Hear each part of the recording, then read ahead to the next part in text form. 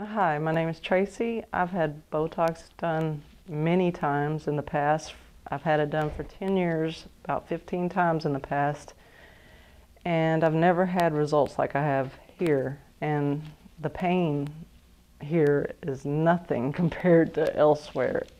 Other places I've gone, I've had so much pain and, and no results to, to go with the pain. Nothing like, nothing like what I have now. I have less wrinkles and no pain. I just love it.